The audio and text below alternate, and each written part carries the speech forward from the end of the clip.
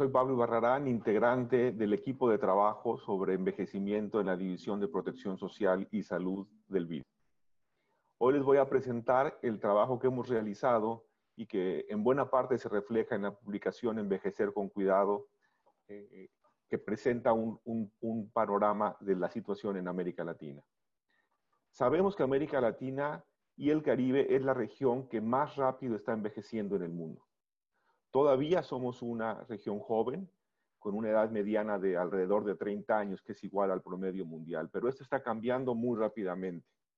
Así, en el 2085, seremos la primera región en el mundo donde uno de cada tres personas tendrá más de 65 años. El que más personas vivan por más años, por un lado, y la presencia de enfermedades crónicas por el otro, está asociado a la dependencia funcional, es decir, a requerir apoyos de otras personas para actividades de la vida diaria. En el 2015, había en la región 8 millones de adultos mayores de 60 años en situación de dependencia. Debido a las tendencias que se observan en el envejecimiento y en el aumento en enfermedades crónicas, se estima que este número aumentará al menos a 27 millones para el 2050 y bien podría alcanzar incluso 35 millones. Este aumento en las necesidades de cuidado se da en un contexto muy complejo respecto a la oferta. En la región, únicamente el 0,5% de los adultos mayores viven en residencias o instituciones, lo que contrasta con el 2 o 3% en Estados Unidos y Europa un bajísimo porcentaje de los adultos mayores que recibe atención en el domicilio paga por estos servicios. Por ejemplo, en México es menos del 3%, mientras que uno de, cuatro, de cada cuatro adultos mayores con dependencia severa no recibía ninguna atención. Desafortunadamente, la gran mayoría de los servicios que se dan y que son familiares no son suficientes y en realidad sabemos que cuando hablamos de cuidados familiares, hablamos de cuidados por mujeres, que son quienes brindan alrededor de 80-85% de las horas de cuidado. Esto tiene importantes consecuencias en la productividad y para la autonomía económica de la mujer y la participación de ellas en el mercado de trabajo. Aquí observamos cómo en Chile, por ejemplo, el cuidar a un adulto mayor está ligado con 10 puntos porcentuales eh, menos de participación en el mercado laboral y en otros países es similar. Así pues, hemos identificado tres tendencias que debemos tomar en cuenta. Por un lado, habrá más mayores, un número mayor de personas con dependencia. Se reduce el tamaño del hogar, por lo que se reduce la oferta tradicional de cuidado familiar lo cual se ve acrecentado por la creciente participación laboral de las mujeres en el mercado de trabajo. Por todas estas razones, es necesario actuar ya. En el libro, además de presentar esta situación con muchos más detalles sobre el, envejecimiento y la dependencia, se tratan las siguientes preguntas para poder avanzar hacia el diseño de políticas. ¿Cómo se diseña un sistema de atención a la dependencia? En segundo lugar, ¿Qué están haciendo los países de la región? Porque hay mucha, mucha actividad al sentido. ¿Cuánto nos costaría un sistema de cuidados? ¿Y por dónde es que se puede avanzar?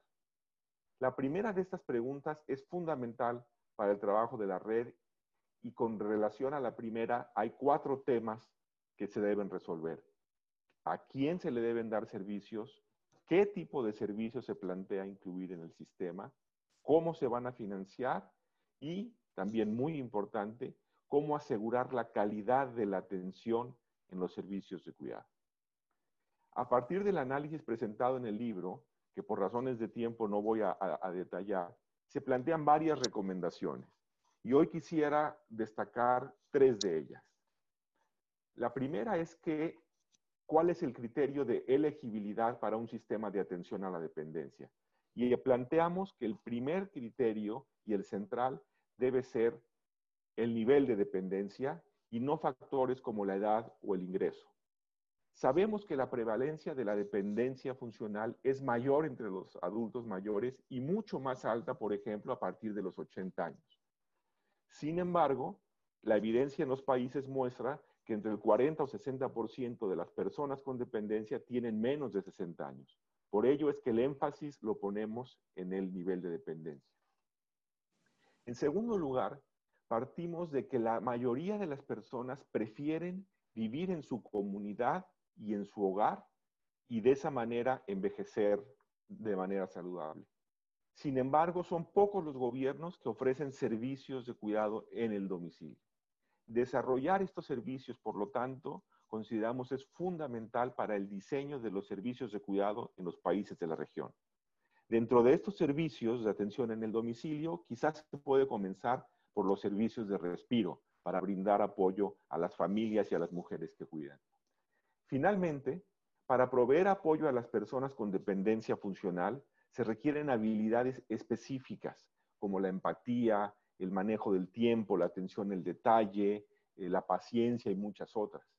En la etapa eh, de COVID-19 y esperemos pronto post-COVID-19, sin duda los protocolos sanitarios son muy importantes.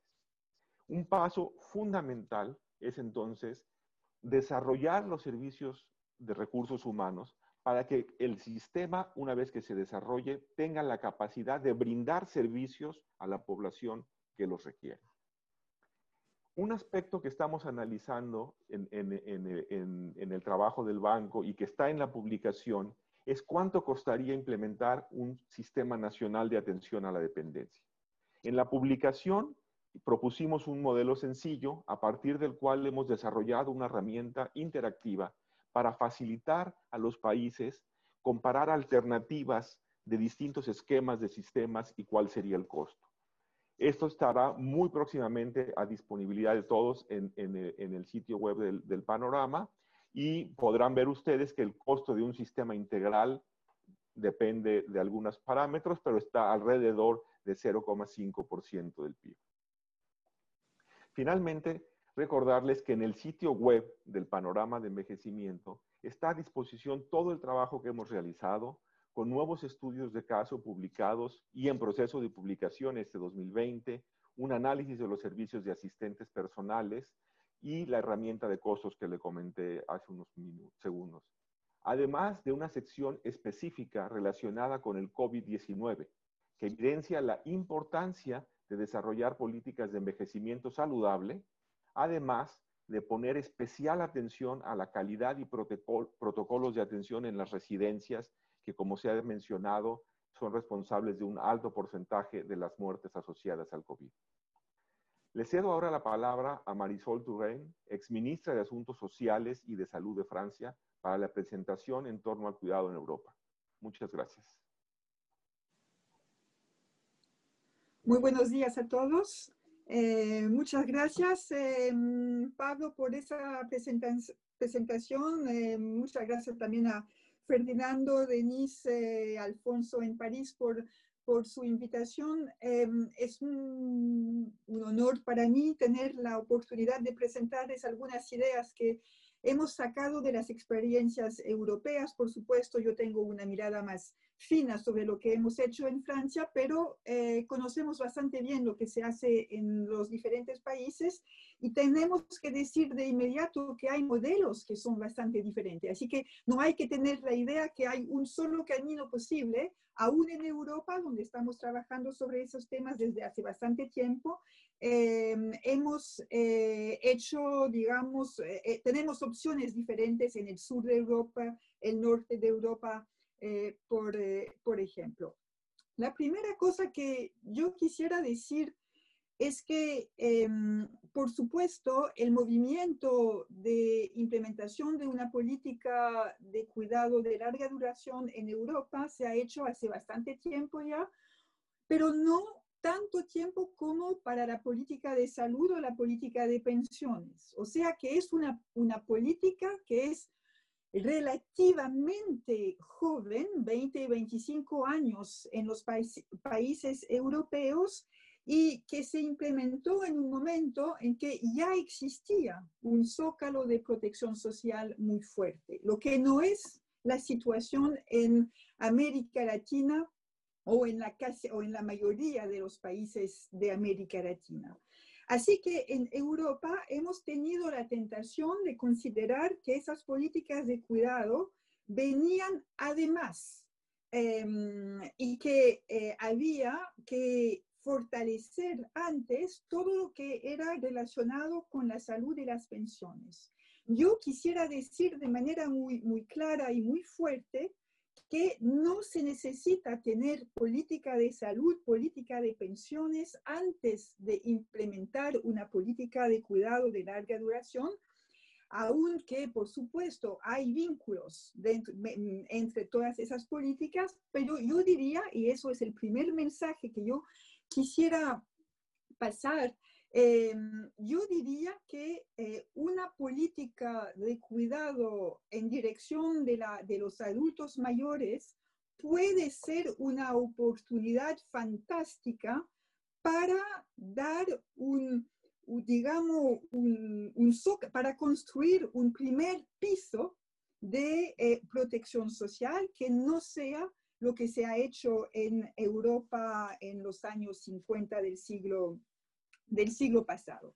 La segunda cosa que yo quiero decir es que, por supuesto, nos demoramos mucho en construir esa política, lo que no significa que em, no es posible avanzar paso a paso. Y eso es la segunda eh, lección que yo tiro de la situación europea, es que lo más, lo más importante es tener una perspectiva clara sobre dónde queremos ir, sobre el objetivo final. Pero después es como en un juego de construcción. Cada pieza del juego, aquí no estamos hablando de un juego, pero cada pieza de la política tiene su sentido propio, aunque eh, no haya el diseño global de la política. Lo que es importante, lo repito, es saber cuál es el objetivo final. Y yo sobre ese tema, quiero decir que en Europa lo que para mí fue la cosa la más importante fue que aunque hubieran políticas diferentes en los varios países, en casi todos hubo una visión muy clara del futuro común que se quería compartir. O sea que para decirle de manera un poco diferente en Europa, y eso es la fuerza de la protección social europea. La protección social no solamente es un conjunto de medidas técnicas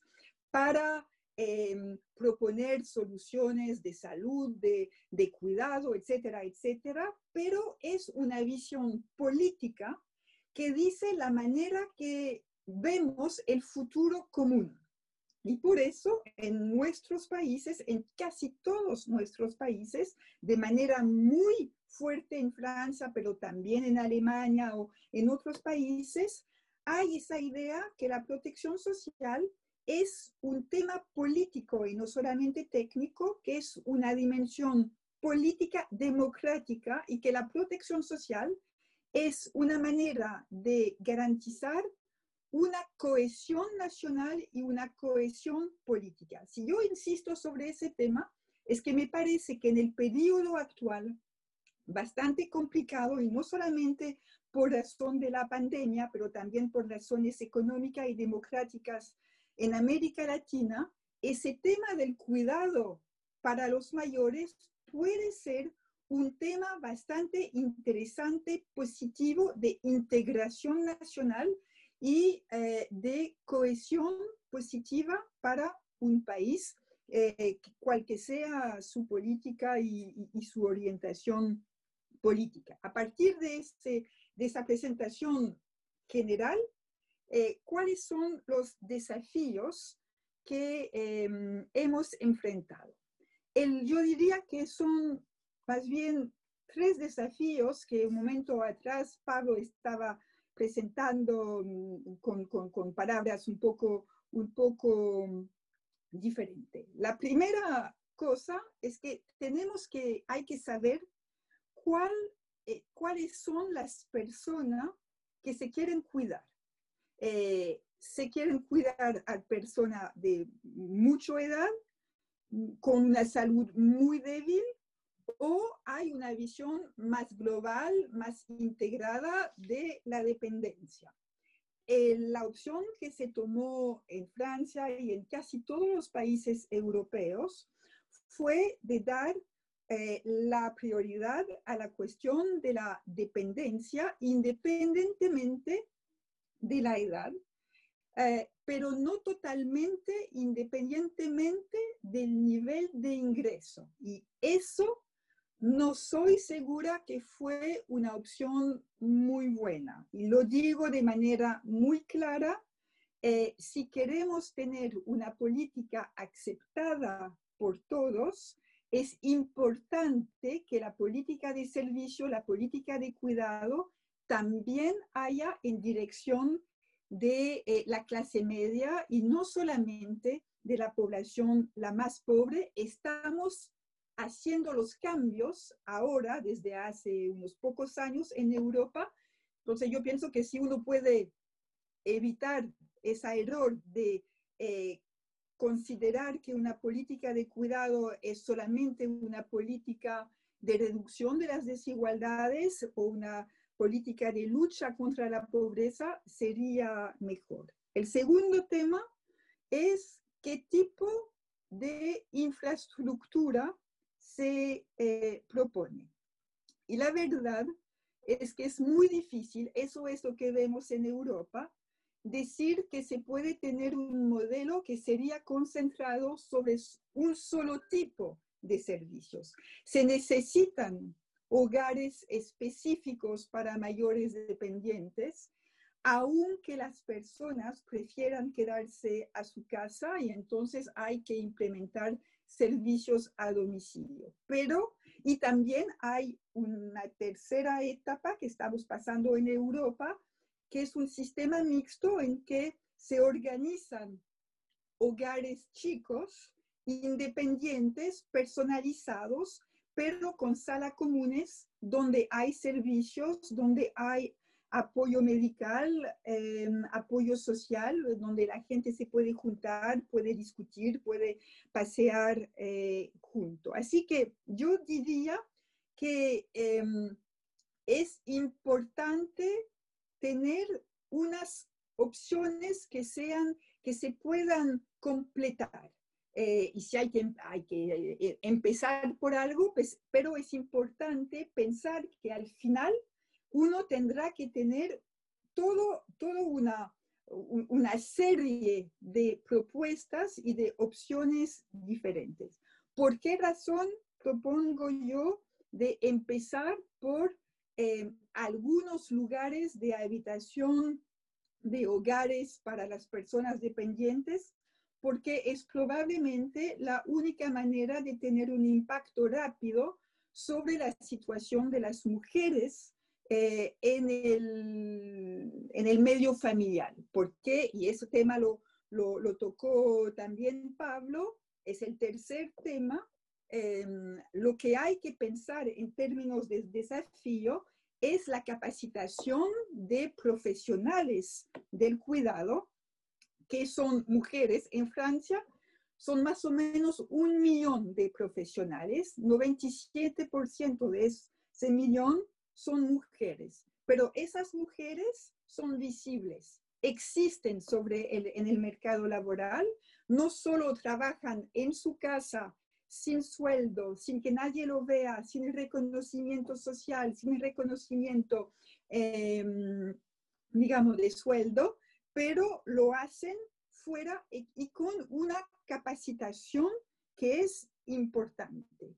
Y el tema que tenemos nosotros en Europa es que probablemente son personas que reciben un sueldo que no es totalmente al nivel que se necesitaría pero yo pienso que cuando uno lanza una política de cuidado de larga duración, debe de inmediato lanzar una política de capacitación de eh, profesionales laborales y eso es lo que se llama lo que llamamos una win-win strategy, una, una, una estrategia ganante para todo el mundo porque son mujeres que tienen una autonomía profesional eh, en vez de quedarse a casa a hacer cosas que nadie ve, em, y proponen servicios fuera que son que constituyen un, un medio económico em, formal, lo que para mí es eh, bastante importante. O sea que el tema de la emancipación, de la igualdad de género, es un tema que hay que tener em, en presente eh, cuando uno implementa a ese tipo de, eh, de política. Así que desafío, tener una política de cuidado que em, sea global, uno empieza por lo que quiere, pero hay que pensar los diferentes eh, elementos. Si me permite una anotación, yo pienso que en Europa hay un tema que fue eh, muy subestimado, es el tema de la prevención. Eh, ¿Cómo se hace para que la gente no se ponga dependiente? Y ahora, por ejemplo, le doy un, un, ejemplo francés. Los médicos pueden dar una prescripción para actividad física para personas mayores, para em, que no sean dependientes y que gracias a la actividad física se mantenga eh, eh, en, buena forma. Eh, entonces, una, una, visión global, prevención, infraestructuras, la necesidad de una evaluación personalizada, y eso es el tema de cómo se articula una visión global, un zócalo de protección social con eh, la propuesta, soluciones personalizadas, individualizadas para cada uno. Y entonces en Europa hay diferentes sistemas, pero sistema que funciona bastante bien es un sistema de, digamos, donde un lugar único donde uno puede ir, tener información, tener una evaluación a partir de un marco de evaluación que es nacional o europeo o nacional y que dice, bueno, ahí viene su evaluación, usted va a tener derecho a eso, eso, eso, eh, X horas de servicios a domicilio o puede eh, recibir eh, un apoyo, un acompañamiento para, ir a, un hogar especializado. Tercer tema, por supuesto, es el tema del financiamiento. Y yo no quiero ser demasiado larga, así que no lo puedo desarrollar, pero es imposible tener una política pública de cuidado sin pensar al tema del seguro privado o, público y de los impuestos. En un país eh, no hay política pública sin impuesto social eh, y por supuesto no es tan fácil que explicar eh, eso en algunos países de América Latina. Yo lo digo ahora en Europa también es muy complicado, pero por razones diferentes, que tenemos nivel de, de impuestos que son tan altos que es imposible ir eh, más, eh, más allá. Para, para terminar, em, yo quisiera tocar uno o dos temas sin desarrollar. El primero es decir que la demanda social es muy fuerte Em, que es una demanda democrática muy fuerte, insisto sobre ese tema, que la gente quiere, pide que haya política de cuidado, así que es un elemento que es muy, muy fácil de valorizar, de, valorar, de valorizar para un gobierno y vale realmente la pena ir sobre ese, ese camino. El segundo tema es que lo vemos muy bien en Europa, hay una relación directa entre la política social y la política económica. El sector del cuidado es un sector económico. Es un sector económico porque hay gente empleada, ya lo dije, pero también hay, eh, hay em, digamos, em, los hogares que se pueden construir colectivos o individuales representan actividad económica. Así que es bastante interesante porque lo que no es el caso para la política de salud es más simple hacer un, explicar que la política social de cuidado es una política que también eh, tiene valor en, términos eh, económicos. Ahí me quedo porque no quiero ser demasiado larga, pero realmente me parece que en el periodo actual la política de cuidado para los ancianos, para los mayores, es probablemente el tema el más universal para ir adelante en términos de protección social y de construcción de, protección social en países donde la protección social no es tan fuerte. Muchas gracias a ustedes.